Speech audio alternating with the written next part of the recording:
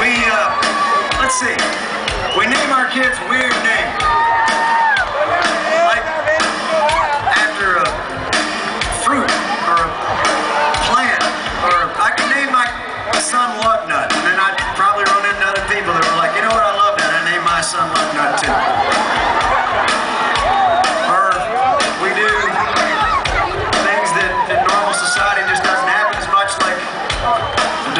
after 72 days of marriage, that's kind of hard.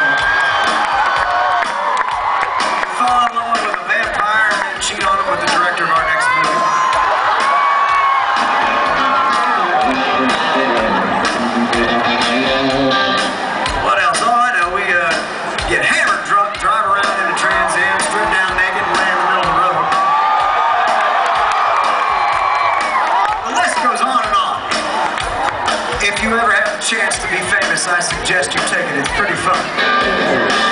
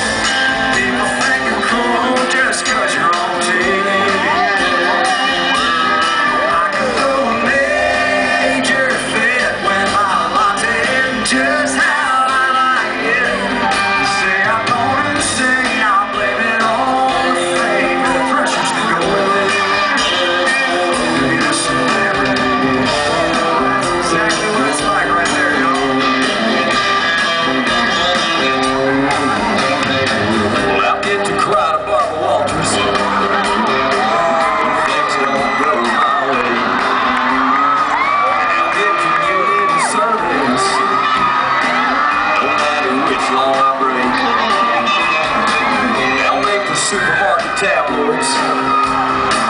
They write some awful stuff.